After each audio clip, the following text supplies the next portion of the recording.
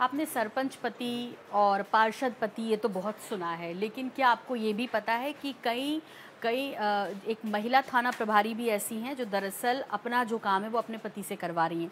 या पति खुशी खुशी कर रहे हैं। दरअसल ये मुरैना का मामला है जहाँ पर फरियादी बजाय टीआई को अपनी शिकायत करने के उनके पति को अपना दुख बता रही है। और ये मामला ज़ाहिर तौर पर सवाल खड़े करने वाला है पुलिस की कार्यप्रणाली पर। आपको बता दें कि जिस तरह का वीडियो वायरल हो रहा है, उसमें महिला थाना प्रभारी मोनिका मिश्रा बगल की कुर्सी पर बैठी हैं और उनके पति प्रभारी की कुर्सी पर बैठे हैं। सामने एक पीड़िता है, जिसकी फरियाद थाना प्रभारी की जगह उनके पति सुन रहे हैं। मामला थाना प्रभारी के पद और गरिमा के विरुद्ध है। लोगों को कानून का पाठ पढ़ाने वाले ही कानून तोड़ेंगे तो फिर न्याय की उम्मीद किससे की जाएगी? अधिकारियों का कहना है कि यदि मामला सही पाया जाता है तो इस पर निश्चित ही कार्रवाई होगी।